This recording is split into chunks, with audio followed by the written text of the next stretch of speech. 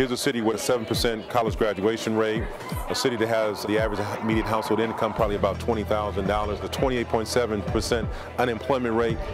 College is very important.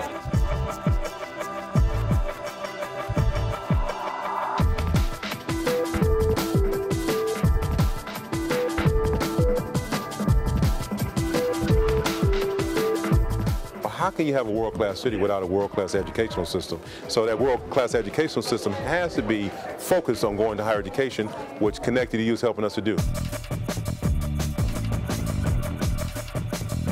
This is just a, a, support that we sorely need, that it just really helps our students just get into the process, and it just gives them that background that they need in order to make an informed choice of where they're going to uh, go next year. Guidance counselors deal with so much, from behavioral issues to helping students apply to colleges, helping with scholarships, helping with class scheduling. So this is just an avenue to help them with their jobs. It's helping them to operate efficiently and helping them to be more effective in working with the students. And now that they can partner with the universities through Connect EDU, it helps them to have a better relationship with colleges and universities as well.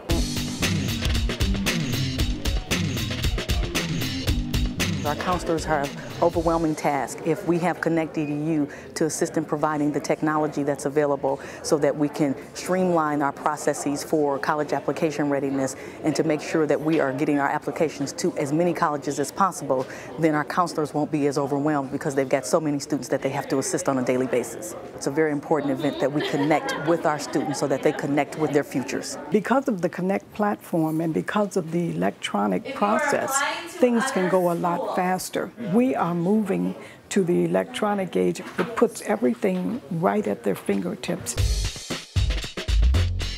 You could understand it, and the questions were simple yes or no, or filling out personal information. I was able to fill out four college applications, complete them, and hopefully I get into them. It really helped me to see what colleges are looking for and the acceptance rate and what do you need to get into college. Today I applied to six different colleges and I requested my transcripts to go to college. It helped me figure out what GPA I needed to get into certain schools and what their standards were for me to get accepted into that school.